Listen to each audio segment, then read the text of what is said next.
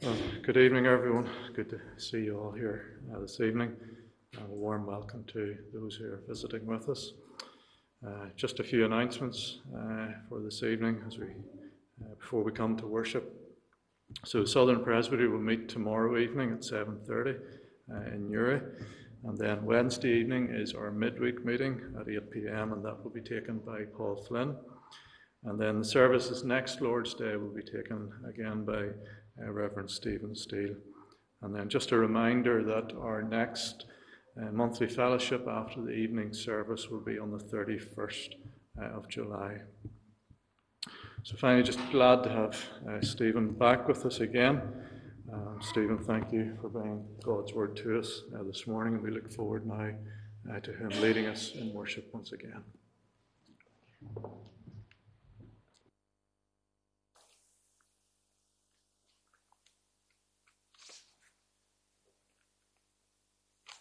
Well, thank you again for the welcome. Uh, we come to worship God, uh, turning to the words of Psalm, Psalm 97. Uh, Psalm 97, and it's the first seven verses.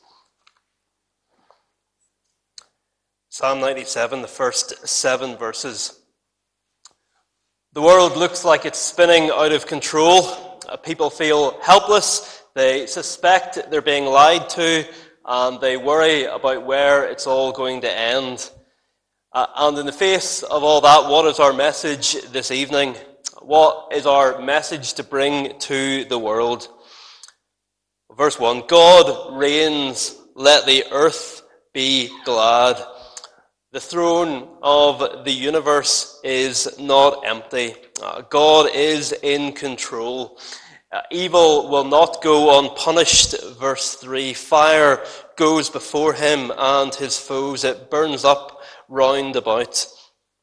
All those who have devoted their lives to uh, serving and following after worthless things will be put to shame. Verse 7 All who serve graven images, confounded let them be. Who do of idols boast themselves, let shame upon them fall. And a, a, a, warning if we are devoting ourselves to things that, that will not outlast this world, uh, that we are wasting our effort.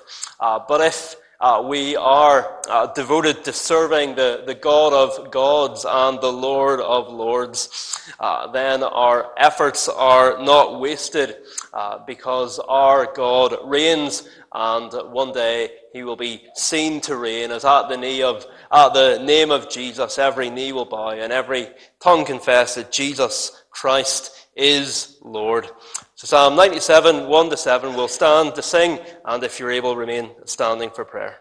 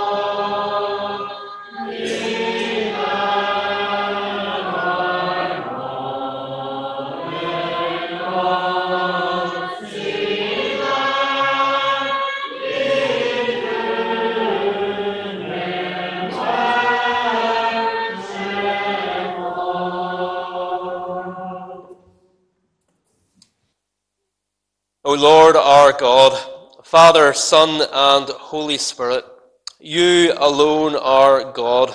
Uh, there is uh, only one God. And although the, the name gods is at times applied in Scripture to, to angels, to human rulers, to uh, demonic spirits, uh, these are all created things. You alone are the uncreated God. You alone are the self existent one. Uh, you uh, do not owe your beginning to anyone else. Uh, you are the God who names other things, uh, but you are the God who is not named by others. And we worship you today. Uh, we thank you for the gift of the Lord's Day. Uh, we thank you for a day of refreshment, a day of rejuvenation.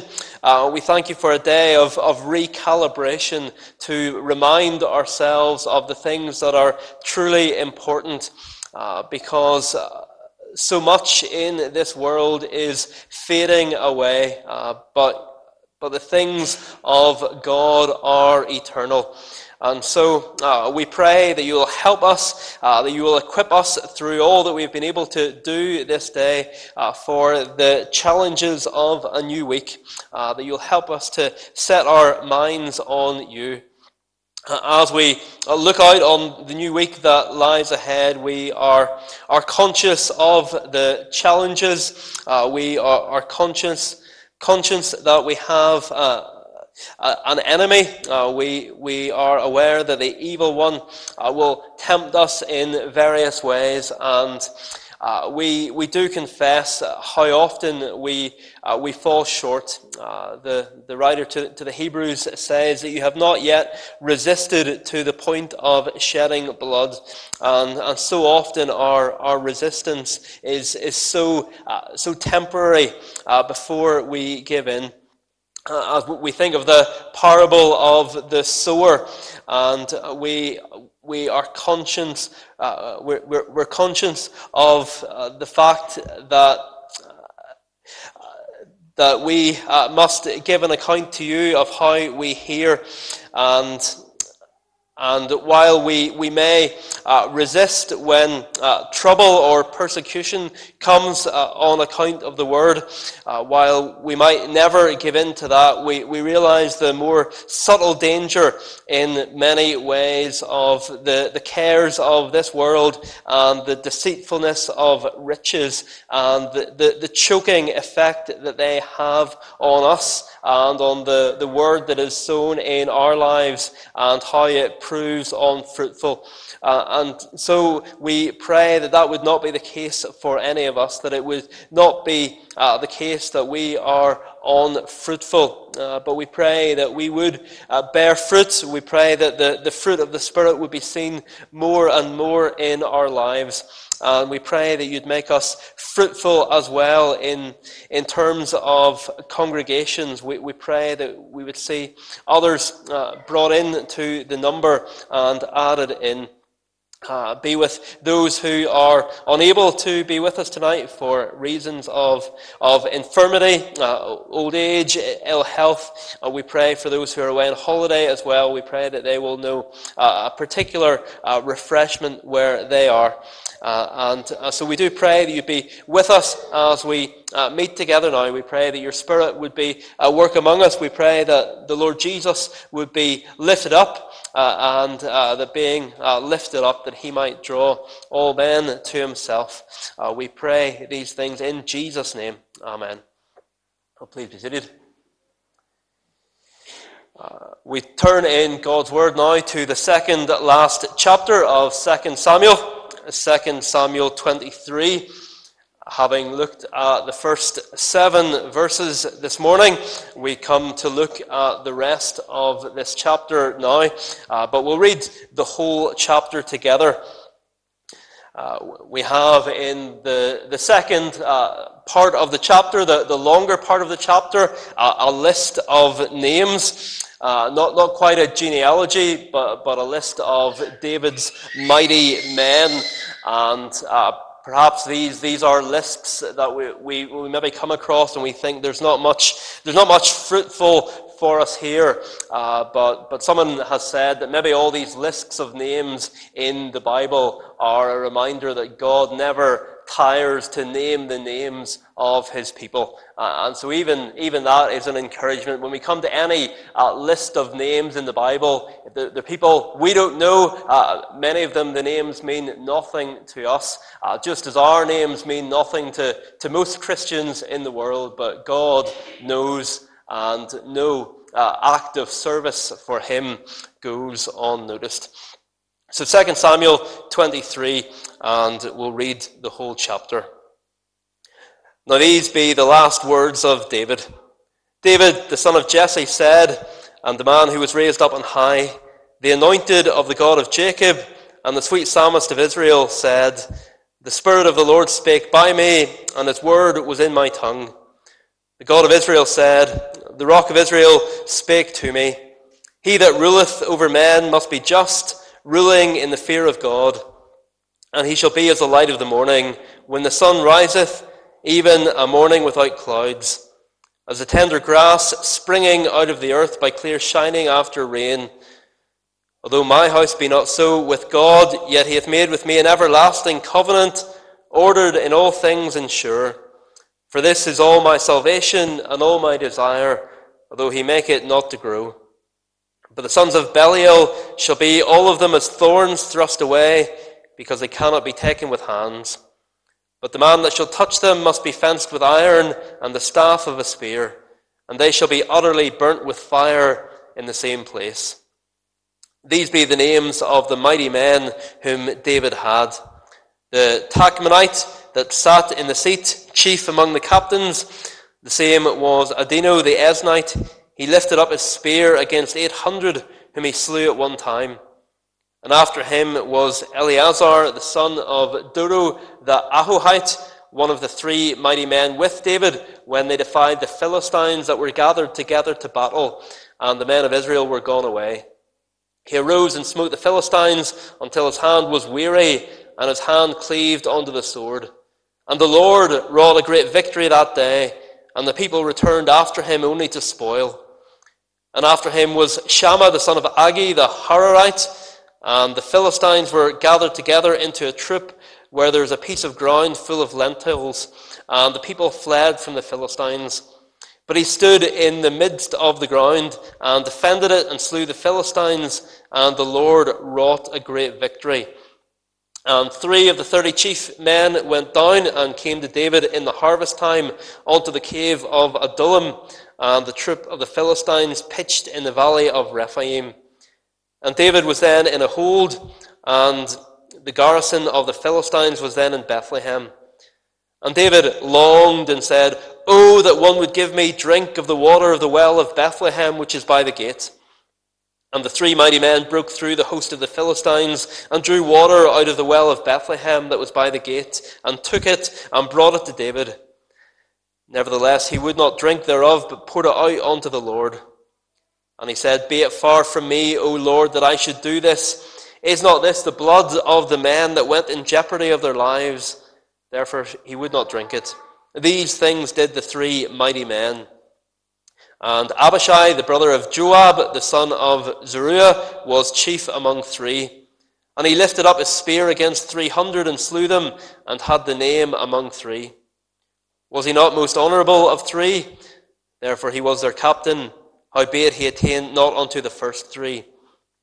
And Benaiah the son of Jehoiada, the son of a valiant man of Kabzeel, who had done many, many acts, he slew two lion-like men of Moab. He went down also and slew a lion in the midst of a pit in time of snow. And he slew an Egyptian, a goodly man, and the Egyptian had a spear in his hand. But he went down to him with a staff and plucked the spear out of the Egyptian's hand and slew him with his own spear. These things did Benaiah the son of Jehoiada and had the name among three mighty men. He was more honourable than thirty, but he attained not to the first three. And David set him over his guard. Asahel, the brother of Joab, was one of the thirty. Elhanan, the son of Dodo of Bethlehem. Shammah the Harodite. Elika the Harodite, Helez the Paltite, Ira the son of Ikkesh the Tekoite, Abiezer the Anathothite, Mebunnai the Hushathite, Zalmon the Ahohite, Maharai the Netophathite, Heleb the son of Baanah a Netophathite, Ittai the son of Ribai of Gibeah of the children of Benjamin, Benaiah the Pirathonite, Hiddai of the brooks of Gaash, Abialbon the Arbathite, Azmaveth the Barhumite, Eliahba the Shaalbonite of the sons of Jashen, Jonathan, Shammah the Hararite, Ahiam the son of Sharar the Hararite, Eliphelet the son of Ashmai, the son of the Machite, Eliam the son of Ahithophel the Gilonite, Hezrai the Carmelite, Paarai the Arbite, Igal the son of Nathan of Zobah, Bani the Gadite, Zelek the Ammonite, Naharai the Beerothite, armor bearer to Joab the son of Zeruiah, Ira an Ithrite, Gareb an Ithrite, Uriah the Hittite, 37 in all. Amen. Well, we turn uh, now to praise God, singing uh, another part of Psalm 72, uh, which we finished with this morning. Psalm 72, a picture of godly kingship, uh, which is prophetic of the Lord Jesus Christ. Uh, verse 8, uh, we're, we're, not singing it, uh, but, but it talks about this kingdom extending from, from sea to sea. Uh, that's actually the, the name of uh, the, the, magazine of the New Canadian RP Church. Uh, you, you, may be aware that up until uh, recently, there was uh, an RP Church of North America, including those in the United States and Canada. Uh, but the Canadian churches, uh, they've now formed into their own uh, denomination, uh, the Reformed Presbyterian Church of Canada, that they might better speak the word of God into the nation they find themselves in. and so we, we will pray after afterwards for this, this new RP Church of, of Canada. Carla's dad, of course, is, is now a minister over there. He did a, did a placement here in this congregation with, with David Silversides many, many, many years ago uh, before he went to Airdrie uh, and then before he went to Canada. Uh, in recent years, they've had a few congregations from other denominations uh, join uh, the church in Canada. Uh, there's a church in Toronto, uh, which originally would have been, been a free church. Uh, Kenneth Stewart, who's in Glasgow at the minute, he or in, in Stornoway at the minute, he he was pastor there in Toronto for a while, so it's now part of the RP Church, and more recently the the Associate Presbyterian Church in Vancouver, again part of a Scottish denomination it, it now is part of the RP Church of, of Canada uh, as well. Uh, and so there are, there are a few expats out there, uh, but they're, they're seeking uh, to uh, to be a, a, Canadian denomination who, who are training uh, Canadian men and sending them out into that vast country. Uh, but coming to Psalm 72, we'll be singing from verses 11 through 14. 11 through 14, and, and particularly uh, to notice a, a, line that we'll come back to uh, in our sermon later on uh, that the, the blood of, of the saints is precious in, in the sight of the Lord Jesus. Uh, so, Psalm 72, 11 through 14. Uh, if you're able, we'll stand to sing and remain standing for prayer.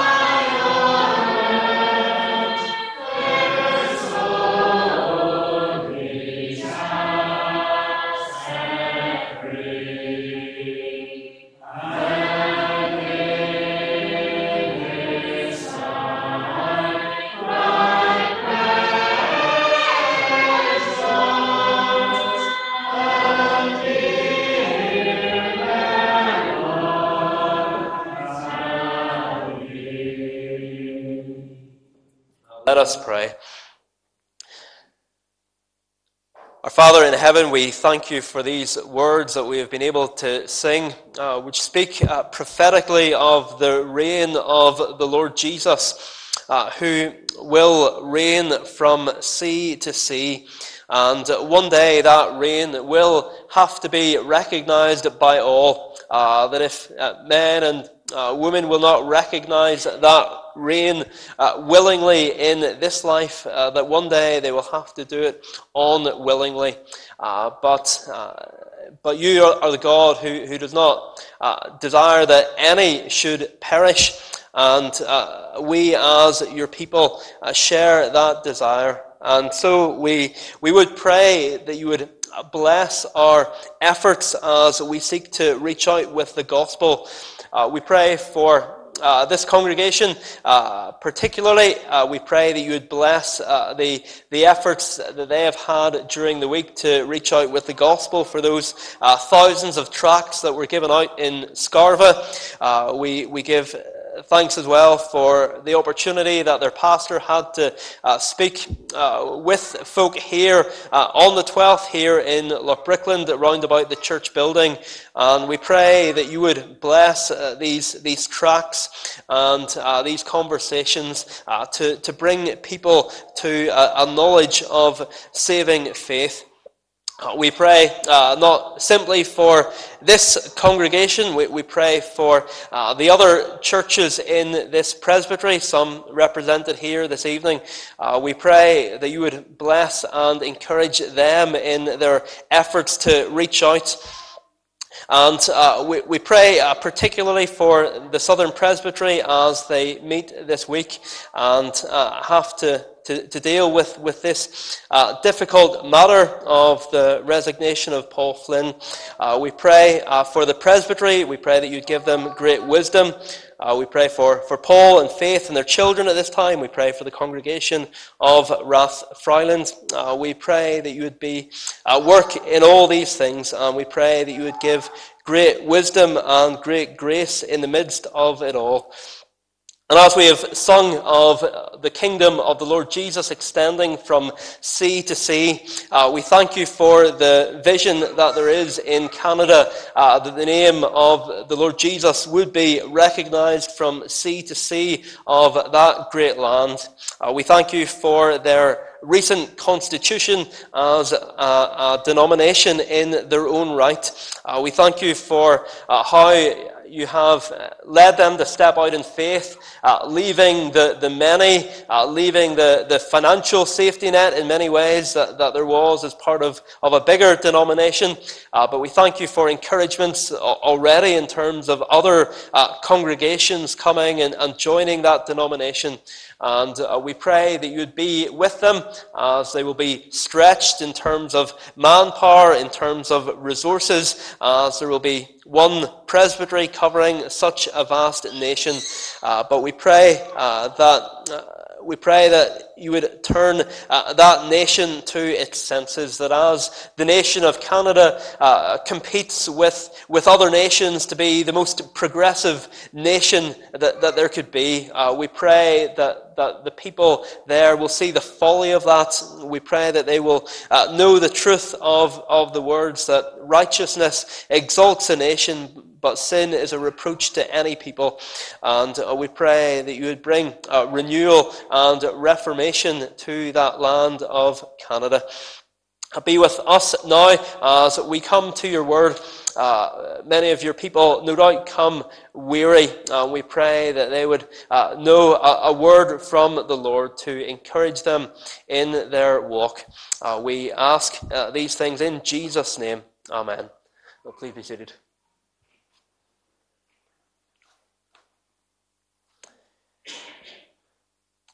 Well, it will be helpful if you can have 2 Samuel 23 open in front of you. As I mentioned this morning, my plan these next two Lord's Days is to uh, take you through these final two chapters of 2 Samuel. Uh, so we looked at the first seven verses this morning, uh, which we saw uh, are not simply general principles for kingship, though they contain that, uh, but very particularly a prophecy of the Lord Jesus. And uh, we come to, to this section now uh, that's often entitled something like, like David's Mighty Men. So 2 Samuel 23, our focus will be in verses 8 uh, to the end of the chapter. We're not always good at recognizing people's service for God. Uh, it's one of the things we're not always good at in the church. Now, maybe it's different here, uh, but let me at least speak generally. Perhaps someone teaches Sabbath school for years, uh, but their preparation and work each week are simply taken for granted. Or someone else cleans the church every week, uh, and the only time anyone ever comments is when they miss a bit. Or someone leads the singing every week, Uh, and one week, someone who's never thanked them for doing it complains that they, they pitched the psalm too high or they didn't choose the tune that, that surely has to go with that psalm. Now, what's the, the natural human reaction to receiving criticism like that? Or even simply to, to not being thanked? Uh, well, surely the, the natural human reaction is to say, well, fine then, uh, that's the thanks I get, I'll, I'll not do it anymore. Uh, we hear that all the time in the world, don't, don't we? Uh, maybe we're involved in, in different committees, organizations, so on, outside the church. People are, are criticized for something, and they say, that's it, I'm not doing it anymore. Of course, in the church, we're not primarily doing what we're doing for other people. We're commanded through love serve one another. Uh, so we are to serve one another, but, but ultimately our service is to God. As Jesus puts it, when you've done all that you were commanded, say, We are unprofitable servants. We have only done that which was our duty. And yet, and yet, at the same time, all over the Bible, we have people who are recognized for their service to God. And that brings us to the first thing we learn from this list of names in front of us. And that is your service to the king is not overlooked. Your service to the king is not overlooked. All over the Bible, we have people who are recognized and named uh, because of their service to God. Jesus himself said to the woman who anointed him in Matthew 26, Truly I say to you, wherever the gospel is proclaimed in the whole world, what she has done will also be told in memory of her. Paul writes to the church in Rome. He says, Greet Mary, who has worked hard for you. He tells them, Greet Rufus, chosen in the Lord, also his mother, who has been a mother to me. He writes to Timothy, and he says, May the Lord grant mercy to the household of Onesiphorus, for he often refreshed me and was not ashamed of my chains. Now, you might think that when it came to the letters of Paul that were going to be recorded for all time in Scripture, that they wouldn't contain personal references to people we don't know. That's all right, yes, for, for the letters that, that Paul wrote that, that, that didn't uh, become part of Scripture in God's providence, but, but surely if, if these letters are to be preserved for all time, they shouldn't contain the, the names of, of people we know nothing about. And yet, it, it is as if Paul cannot write to churches without highlighting uh, the names of some of the people who are serving away in them. And the fact that his uh, recognition of individuals and families is recorded is surely because it's meant to be an example to us. If God delights to point out the faithful service of his people, we should do the same.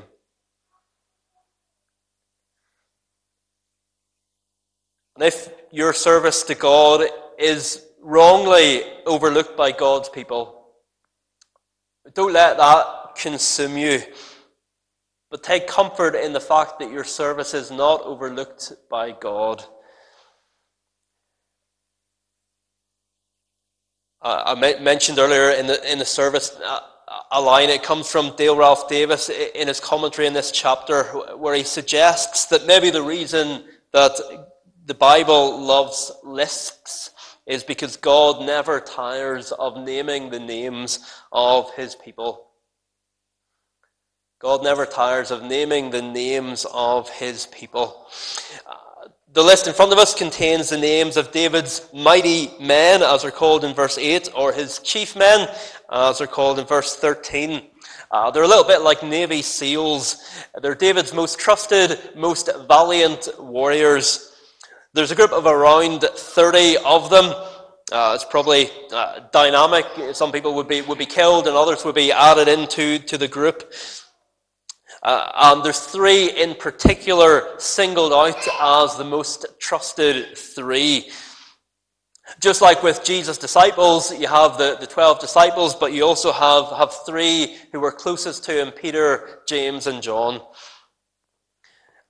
Uh, and the comparison to, to Jesus is an important one because who is David here? He's not just a random historical king but he's God's covenant king. And so to fight for David was to fight for the kingdom of God in the world. Just like we do today as we fight uh, for Jesus. Uh, not with sword or, or spear, but with the sword of the Spirit. As we fight sin, as we take the gospel out into the world. And Jesus doesn't overlook the work of his servants. Other people may do, but Jesus doesn't. He said to his disciples, Whoever gives you a cup of water to drink because you belong to Christ will by no means lose his reward. And in the meantime, we are called to serve him faithfully, even if the day in which we receive that reward uh, may be very far in the future. One thing that we need to realize about the people who served David in this chapter is that they did so at a time when serving David was far from the easy option. These final chapters of 2 Samuel are summary chapters. Uh, they're not necessarily in chronological order. And so, verse 13 of our chapter talks about the time David was living in the cave of Adullam. And when was that? Well, that was way back in 1 Samuel 22 when Saul was still king. David had been anointed uh, king by Samuel at that point when they were in the cave. He, he was God's choice for king, but he wasn't yet on the throne. He hadn't yet been publicly recognized as king. And we're in a similar position today. Jesus is king, but most people don't recognize that. After all, a crucified Messiah doesn't look very impressive. And yet, it is now that we're called to serve him. One day, Jesus will split the skies and return. Every eye will see him. But it will be too late to start serving him then. Rather, what will count is whether we served him when his cause wasn't popular. And so I trust that, that right from the beginning tonight, this sermon will be an encouragement for you to keep serving him even when his cause is unpopular. And for the rest of our time tonight, I, I want to highlight from these verses three situations you could find yourself in where you might need some encouragement to keep going. So, having seen firstly that your service to the king is not overlooked, uh, we want to look at three situations in the chapter where the temptation to throw in the towel could have been overwhelming. Uh, those three situations are uh, when a particular area of service feels like a waste, uh, whether a waste of your energy or a waste of your gifts. Uh, second situation is when you're serving in an unglamorous situation. And the final situation is when you're left serving on your own. I wonder, do any of those scenarios feel close to home for anyone here? Do you feel like you're wasting or have wasted your energy? Do you think that the place that you are isn't the ideal place to serve God? And do you ever think, I could just do with a bit of support? It can be hard to serve when any one of those three is true. Uh, any one of them brings with it a high potential for discouragement. But if all three of them are, are true or, or seem to be true, it can really be a toxic mix. And so, the first of those three situations that we want to look at under our second heading this morning is when it feels like a waste. So, so secondly, tonight, your service to the king is not overlooked, even when it feels like a waste. Probably the most well known of the, of the different snapshots that are recorded in this chapter is in verses 14 to 17. Uh, where David says, Oh, that one would give me drink of the water of the well of Bethlehem, which is by the gate. What was behind David's desire? Well, it surely can't have been that they didn't have water where they were. 1 Samuel 22 tells us that there were 400 men with him in the cave of Adullam, and there's no suggestion that lack of water was a problem. Was it just that the water in Bethlehem tasted better? Perhaps. Uh, some have suggested that, that what really lay behind David's request was the desire that Bethlehem, uh, which after all was the city of his, his birth, would be taken out of Philistines' hands. Uh, and he was longing for the day when that would come about. To be able to go freely into Bethlehem and drink water from its well would mean that Bethlehem had been liberated from the Philistines. Perhaps a little as if someone had said during lockdown, I just wish I could go on a drive to Newcastle. And it might have been more a comment about wishing lockdown was at an end, uh, rather than meaning that Newcastle was the one place they wanted to go in the whole world if given a choice. And if that is the right interpretation, then three of the chief men, they, they overhear David uh, and this, this longing, and they take him literally, and they go and break through the Philistine camp, uh, and they get water and they bring it back to David. And when he realizes what they've done, and that they've risked their lives to get it, he won't drink it.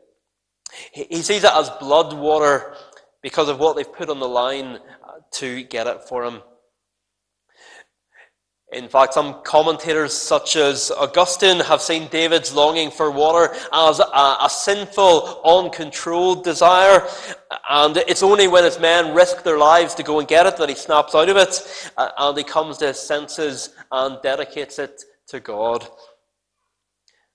But whatever the reason for his desire, his people's service is precious to him. And that's the big thing to get is people's service is precious to him. Uh, we sang about it in Psalm 72. It's speaking prophetically of the Lord Jesus. It says that the blood of his people is precious in his sight. And it was the same for David. And so what does he do with this precious water? He pours it on the ground. What ingratitude that they've gone to such lengths to get it for him and he pours it out in the ground. Gratitude? Not at all. Not at all. Rather, he's pouring it out before the Lord. It is not an act of waste, but an act of worship. It's not a, an act of waste, but an act of worship. When all is said and done, the men who've risked their lives ha- have nothing to show for what they've done. And yet, a beautiful thing has happened. They've risked their lives for their king. And David, he realizes that he is not worthy of it. That's why he, he pours it out before the Lord as an act of worship. He pours it out before the only one who is truly worthy of such devotion. How, how does this touch down in our lives? Well, if you think about it, we don't often have much to show for our service of God. Think about how we spend the Lord's Day, how we devote one whole day and seven to Him. And now contrast that with a bank holiday, uh, which we've had a couple of extra ones this year. You, can get a lot done in a bank holiday uh, if you don't have small children running around. Uh, I'm sure uh, we could do a lot with our Sundays if we use them for ourselves. After uh, after a whole day doing doing stuff for us, you know, our, our houses would probably be a bit tidier, our, our gardens in, in better shape. But what do we have after a day of rest and worship and fellowship? Not a lot in tangible terms. Uh, some of you who are, who are maybe studying uh, and maybe you, have exams and you, you, you, take a whole day off and, uh, and your classmates are able to get so much done, maybe, maybe a whole other module covered, and you've nothing done. You, you've, you've nothing to show for it. Someone might look at it and say, We're doing the equivalent of pouring water on the ground. But worship is never a waste. Worship is never a waste. And what about that, that day at home when you seem to get nothing done? Uh, maybe uh, mothers at home with, with children. You maybe think, I, I could be, be doing something more productive. And yet, at the end of that apparently unproductive day, those, those small people are, are still alive and uh, they, they've been uh, looked after, they know they're safe, they, they've been disciplined when they've stepped out of line, they've been watching all the time, they've been learning, they've been loved, they've been trained a little more in the way they should go. But whatever it is, when you're doing it for Jesus, whether that's your worship on the Lord's Day, whether it's your own glamorous work for Him through the week. The world says, Why this waste? Jesus says, She has done a good thing, a, beautiful thing for me. Serving God when it seems like a waste, it's not a waste, it's precious in His sight. But then, thirdly, uh, which is the second situation uh, where uh, you might feel discouraged in your service, and that's when you're serving in an unglamorous situation. Let me take you back to July 1848. Uh, there was a failed Irish nationalist rebellion led by the Young Irelanders. It, it culminated in a gunfight which became known as the Battle of Widow McCormick's Cabbage Patch. One of the rebels was shot dead by police, uh, another was fatally wounded. But even though it was a matter of life and death, it's hard not to, to smile at a battle named after a cabbage patch. Uh, I'm pretty sure no other country in the world uh, would do that. But we're not all called to take on the enemy on glamorous battlefields, as if there is such a thing anyway. And here in verses 11 and 12, we, we have a man called Shammah who takes his stand in a plot full of lentils. I'm sure there are people we're all uh, looking forward to meeting in heaven. Uh, people from the Bible, uh, great missionaries, others from church history. But has anyone ever said, you know, I can't wait to meet the guy who defended the lentil field? And yet, lentil fields need defended because God's people need fed. And God calls most of his followers to serve him in unglamorous situations. This passage seemed uh, particularly appropriate in some ways to, to us as a congregation in Stranraer. You know, humanly speaking, the town doesn't have a lot going for it, uh, nor is there anything outwardly impressive about the church, either the building or the people. Uh, we could uh, compare ourselves easily to, to other people and say, well, we're just a, lentil patch in comparison. Uh, and I'm sure you could do the same here. It, it wouldn't take long to find other churches that you could compare yourselves to. and feeling like little more than a lentil patch in comparison. Uh, in the RP church around the world, we're, we're all pretty much serving God in lentil fields. Uh, some of those lentil fields are just a little bit bigger than others. And the challenge for me and the challenge for you is are we willing to serve God in a lentil field if that's where He calls us to serve Him? Would we be more committed to our churches if there was a bit more outwardly attractive about them, if there were more people our own age? In verse 11 here, everyone else fled. Everyone abandoned the lentil field, but Shammah stood his ground. And at times when the enemy is growing in strength, as he seems to be at the moment, and there's nothing particularly attractive about a situation, people will do that. They'll say, I'm out of here. They'll, they'll, they'll say, I'm just going to stay at home and watch church online. Or, or I'm going to go elsewhere where I can blend in, where I won't have to have any responsibilities, or where things are just a little bit easier. Or I'm going to walk away altogether. I'm not going to invest my life in a lentil field. Uh, but Shammah did. Either he was going to kill the Philistines or the Philistines were going to kill him, but he wasn't moving from that lentil field. What did Jesus say that following him is to be like? It's about denying ourselves and taking up our cross and following him. It's not about picking the easiest option. You young people, if you, you, you move away for, for university or, or for work, uh, don't just ask, well, well, what church are the other students going to? Ask whether there are lentil fields where you can go and take your stand, maybe even with just a handful of others, and look to God to bless that.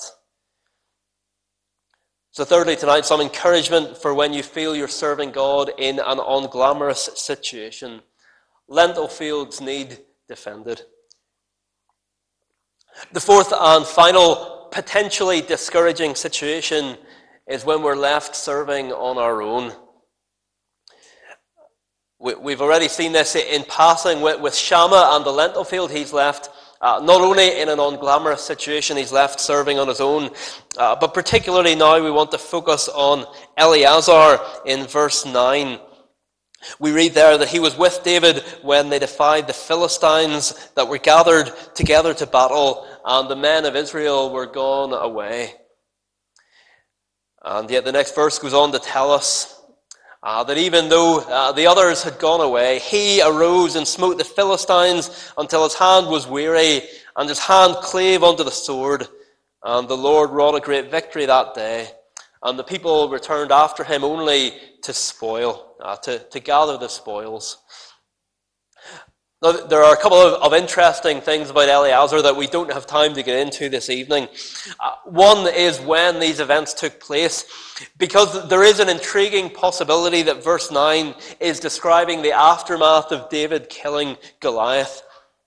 When the Israelites are chasing the Philistines, uh, I don't have time to go into the reasons uh, for, for why uh, uh, many people think that is the case. Uh, but if it is, the suggestion is that as, as the Israelites were pursuing the Philistines, that Eleazar's unit gave up. Uh, they stopped pursuing, but he kept going. Uh, and the other thing uh, I'm not going to uh, talk about this evening is the whole business of, his hand cleaving or clinging to his sword. We could look at examples uh, from, from history where this has happened, either because the, blood has congealed and acted like glue, or because the muscles seized up and people literally couldn't let go of their swords.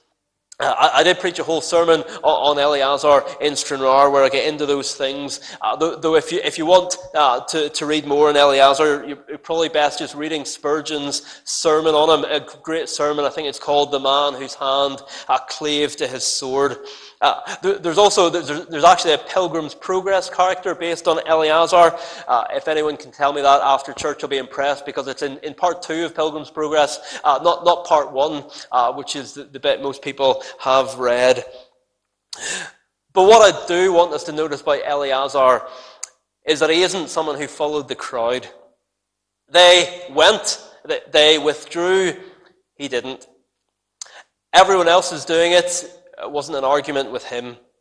Everyone else is running away. So what? No one else is taking the responsibilities seriously. So what?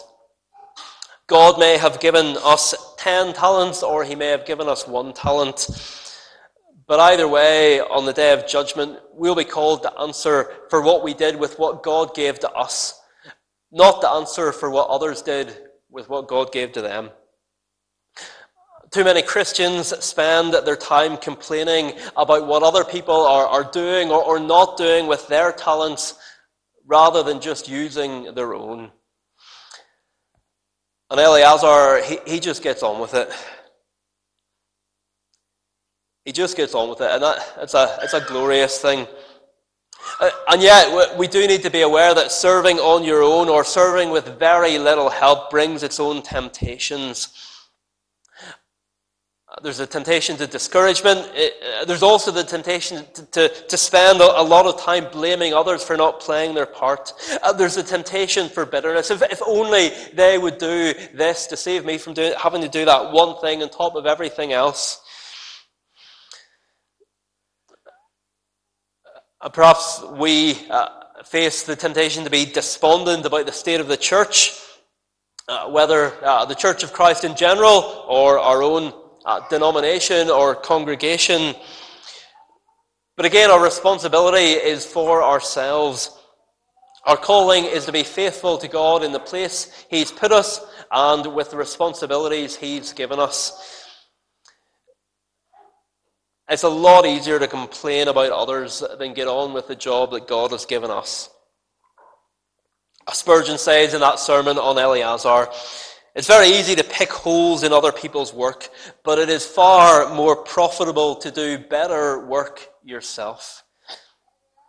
And he asks, I think this is quite a convicting question Is there a fool in all the world that cannot criticize?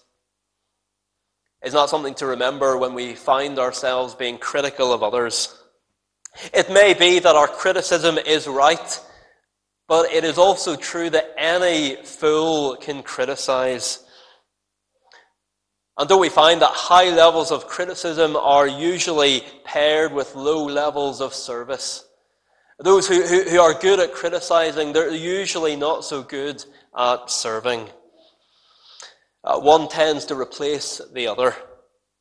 Spurgeon sums it up, therefore, if thou be wise, my brother, do not cavil at others, but arise thyself and smite the Philistine. Sometimes we perhaps need to remind ourselves that our responsibilities are not reduced by the laxness of others. Uh, and there can be the feeling, well, if people around me aren't serving God wholeheartedly, there's no point in me doing it. But that's, that's totally the, the wrong logic. Surely the failures of others should lead uh, us to strive the harder, not to slacken off. Again, I find it hard to improve on Spurgeon, so I'll just quote him. He says, Are your fellow Christians worldly? You yourself should be more spiritual and heavenly minded. Are they sleepy? Be you the more awake. Are they lax? Be you the more strict. Are they unkind? Be you the more full of love. Set your watch all the more strictly because you see that others are overcome, and be you doubly diligent where you perceive that others are negligent. The failures of others are, are not to give us ammunition for criticism, nor should they lead to us slackening off in our own service for God. Rather, they should lead to us being all the more diligent. And remember that your service to the king is not overlooked, even when you're left serving on your own. But just as we close this evening, a, final thing to encourage you to keep going is remember who you're serving. Remember who you're serving. As we uh, remembered at the start, ultimately our service, it, it's not for one another. And you are serving a far greater king than David. Think of what David's men were willing to do for him, and yet you are serving a far greater king, a far kinder king. There's one name on this list of 37 men that really sticks out, uh, and that maybe sticks in the throat a bit. And that's the very last name on the list. Did you notice it? Uriah the Hittite. Who was he? He's the one David had killed so that David could steal his wife. David was a king who at times took advantage of those who were serving him. Perhaps with those men who went to Bethlehem to get him water, definitely with Uriah. But Jesus never does that. He is the greatest king. And also, unlike David, Jesus doesn't actually need us to fight for him. David needed people to fight for him. Jesus doesn't. And yet he calls us to. And he honors us when he answers, answers that call. To give the last word to Matthew Henry, Christ, the son of David, has his worthies too, who, like David's, are influenced by his example, fight his battles against the spiritual enemies of his kingdom, and in his strength are more than conquerors. And that sounds like a pretty good thing to give our lives to. Amen. Well, we close uh, with the second last psalm. Having, having looked at the second last chapter of, of 2 Samuel today, we come to the second last psalm. And verse 2 uh, reminds us of the starting point for our service. Uh, the starting point for our service uh, must, must not simply be duty, but joy in our King. Let Israel in his Maker joy. Uh, let all that are Zion's children be joyful in their King. And remember as well, verse 4, uh, amazing words. Words we probably would not have dared write if they were not in Scripture. How does God feel about his people? For God doth pleasure take in those his people be. Uh, remember as you serve him that he takes pleasure in you. Not simply in your service, but in you. Uh, we will be, be crippled in our Christian lives, our, our Christian service, if we think that, that we serve so that one day He might take pleasure in us. No, His pleasure in us is the starting point for our service. And, and with that in mind, verse 6, we take up the sword, the sharp two edged sword. Uh, for us, it is the sword of the Spirit. Uh, that we might uh, go out and see the nations, the, the heathen, as they're called here. Well, yes, one day vengeance will be executed on the nations. The saints will judge the earth.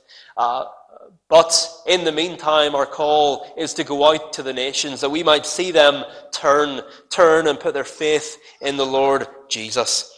So Psalm 149, verses 2 through 7, will stand to sing praise.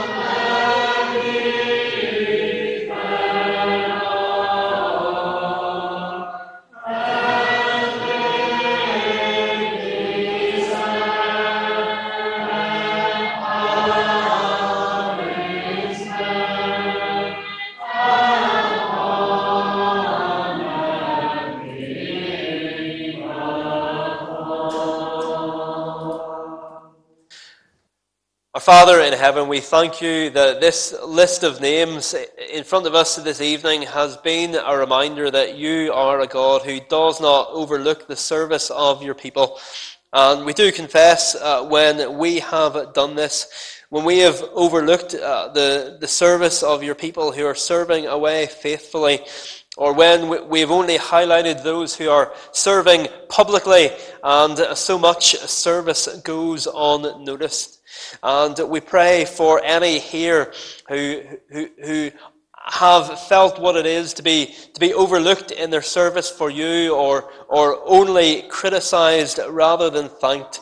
Uh, we pray that they would know this evening that even if they have experienced that from your people, uh, that, that that that has not been a true representation of, of what you are like. We pray for any this evening who, who feel that they, they are wasting their energy or their gifts or, or they look back on their lives uh, at, at a, a, particular area of service, perhaps over many years, uh, and they see so little fruit and they wonder whether they've wasted it. We, we pray that uh, you would remind them this evening that their service for you uh, was never wasted because it was a, a beautiful thing in your sight. Uh, we pray for any many who, who feel that, that the place you've, you've placed them in, whether that's, that's where they, where they live, uh, whether it's uh, the, the family situation that they're part of, whether uh, the congregation that they are part of, where they feel that it is not the ideal place to serve God. Uh, we pray uh, that that you would encourage them by highlighting uh, this man who, who stood uh, and, and fought in a lentil field uh, because he knew that God's people needed fed, and he knew that once territory was lost to the Philistines, it would be very hard to get it back. And we pray as well for any who are serving this evening uh, in a particular area of service where they are, are on their own or, or they're all but alone in their service for you. Uh, we, we pray that uh, you would encourage them in that and that the, the fact that they look around and see people who, who could be serving, uh, who, who could be serving alongside them, but, but aren't, we, we pray that you would guard them from the temptation to, to bitterness over that, uh, but that it would simply encourage them to greater diligence, knowing uh, that the Lord Jesus does not overlook even uh, the one who gives out a cup of cold water in his name. And so we pray that you would encourage us in these days in our service for you, knowing that we are serving a far greater King than David, even the Lord Jesus Christ, in whose name we pray. The grace of the Lord Jesus Christ, the love of God, and the fellowship of the Holy Spirit be with you all. Amen.